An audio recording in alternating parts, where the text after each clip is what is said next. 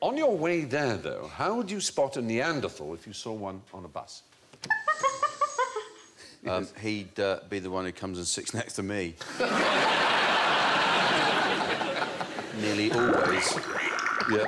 He's the one already sitting next to me because I'm married to him. This is going to be the humiliate my Is- husband show. Yeah, he doesn't watch this. It's all right. Oh, fine, OK. He doesn't really understand it. Is he, is, he, uh, is he the one looking at the wheels going, what the hell? It's got a. Has they got the lump and great forehead, or is that the Cro-Magnon?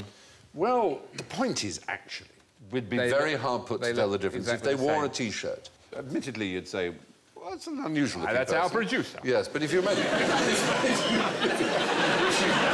if, and I dream of it, we shaved and dressed our producer one day, um, popped her on a bus... Um, she might look like a normal person. That's, no, the point is that they... So far, we haven't. No, we've not managed that yet. He looks, he Is looks that like... a- is that a model? That's a model of how they might look. Unfortunately, we think of them as incredibly stupid, but they had religious rites, they buried their dead, they made ornaments. At one point, we were one species that diverged, and these two branches of humanity lived in Europe. In fact, Neanderthals lived in Europe for four times longer than we ever have. They had a long period of living there. And did we cross over? Were- We was- did cross over, and no one quite knows why they went extinct, whether we bullied them, whether we outsmarted them. They were stronger than us. Right. We invented the bus, though. We didn't. they didn't invent the bus. No, You can't give them that one. But about one to four percent of our DNA is Neanderthal, so we crossbred. So were there ever, uh, for instance, Homo sapiens who married Neanderthals? You imagine Well- a wedding like that? Yeah. It's going to be a punch up in a car park. Yeah.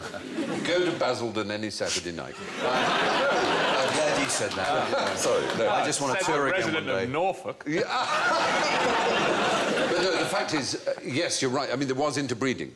Um, and there, there are many theories. Some think that we, Homo sapiens, as it were, kept Neanderthal girls as sex slaves. But it's very possible it was the other way around, because they were stronger than us. But certainly there was a lot of interbreeding. But for some reason, they died out.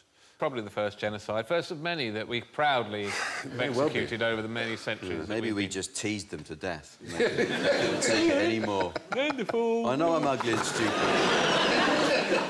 So politically incorrect. oh, I can run fast. Oh, you're really good. Why are they called Neanderthal? Is it an anagram? Probably is.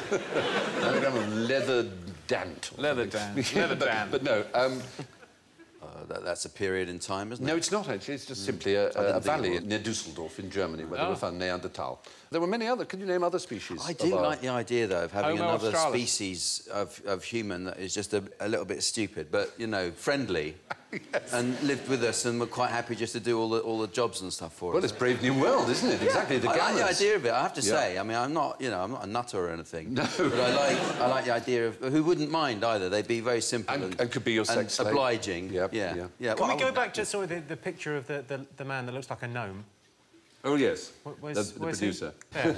yeah, I don't really fancy that as a sex slave, I'm going to be honest with you. I'm not being overly fussy, I just think... Bearing in mind, though, Jimmy, this is before the invention of electric light. You know, it's gloomy. Yeah. Be, be in a cave. It's, in a- cold, You be in a no cave, it's cold. Have a few beers, you'd be fine. he looks, he's quite a friendly-looking bloke, isn't he? Really, for for a Neanderthal. Yes, uh, definitely. But if you gave uh, him, and when I say him, I mean a Neanderthal man, a tracksuit and a haircut, uh, he would attract no more attention than any of the other nutters on the bus. Uh,